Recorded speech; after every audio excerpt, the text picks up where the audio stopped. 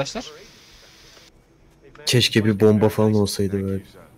Abi, Tam ortaya atıp kaçsaydım falan. Bir an beyzbol sopası atacağını sandım harbiden onu düşünmüş. Manyak ama.